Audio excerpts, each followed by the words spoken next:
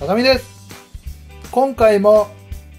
銀河漂流バイファムについてカステラさんに語ってもらおうと思います。今回は、えー前回が何？ストーリーとか？な中身の話かな？概要編。概要編ですか？今回はなんかキャラクターを中心に深掘りしてくれるらしいので皆さんよろしくお願いします。じゃあカステラさんどうぞ。はい。名指しです。はい。どうぞ。まあだろうな。まあ本当に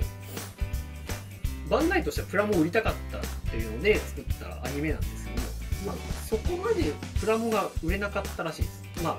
だからドラグナードラグナーと一緒やってこの手のシリーズはレイズナードラグナーバイファムはなうん。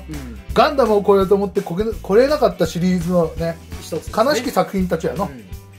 ただそこでもすごい人気があったっていうのはやっぱキャラに支えられてたっていうところがありまして、バイファムはキャラクター人気だったんや。実はそのバンダイのその関係もあって裏裏番組がその青い猫型ロボットやったんですよはい。はあー。時間帯的にねこれは勝てませんな。かなか勝てないっていうのもあって打ち切りの話もあったんですけどそれで打ち切りが決まったテレビ局もあったところでこう署名活動が始まってえー昔あるあるやのらないでっていう、うん昔あるあるやのが結構すごくてでそれでもう延長を決定したテレビ局とかも結構あったりしたっていう話を聞いたのでやっぱりそこら辺の中高生の人気っていうのはやっぱすごい得てた得てたらしいです、まあ、当時生まれてないんで聞いた話ですよね。若干僕ですよ生まれてないんでね、はい。あのーそれぐらいのは昔の話ではあるんですけどもまあ当時の動きとしてはそれぐらいのアニメファンの気持ちはありましてこの作品がどんだけ人気になったと OVA も4作作られましたと。いうえ話なんですよね、まあ、後年ーそうだよ。バイファムはキャラクター人気なんやそうですね。い。ジュブナイル的な魅力というか、ご家分のそうですね。この子供たち本当に子供たちだけなんですよ、まあ、途中までそのケイトさんっていう大人の女性が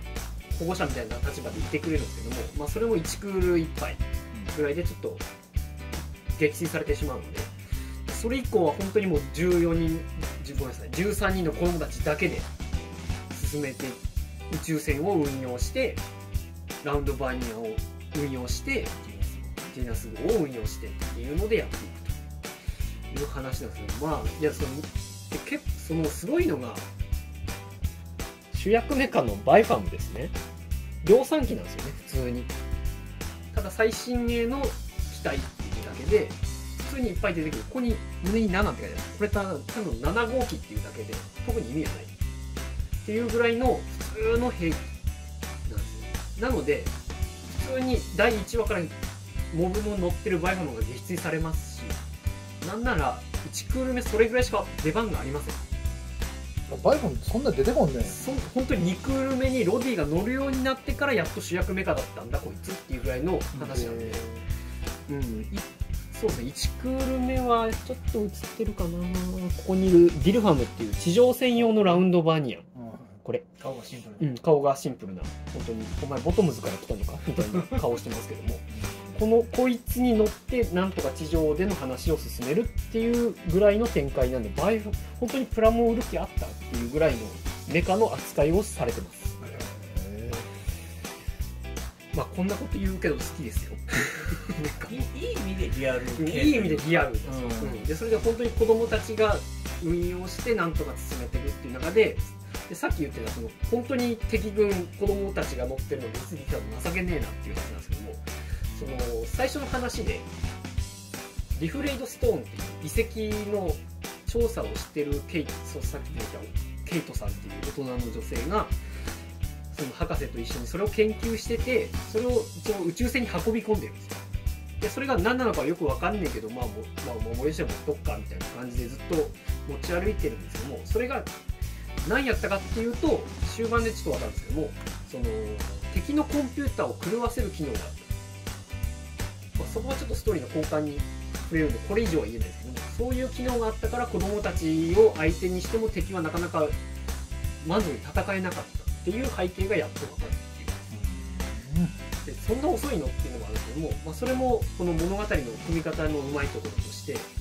敵の異星人なんですけどもクトニアって異星人なんですけどそれがもう本当に出てこない本当に途中まではマジでエイリアンっていう感じでこのメカだけが襲ってくるっていう感じなんで本当にこいつら何者なんやっていうところでもう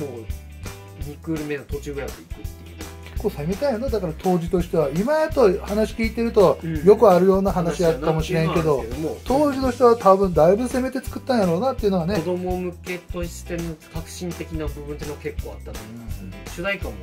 ねさっきさっきナンバー2ジャガイモとか言ってましたけど英語英語歌詞なんですよ。ずっとねずっと。セリフから何かセリフから入るっていう。完完成の通信が歌詞に入っている。あのアイムバイバイね。やめあれをフルで一回ちょっと聞いてみてほしい。今今聞いてもちょっと新しい感じですね、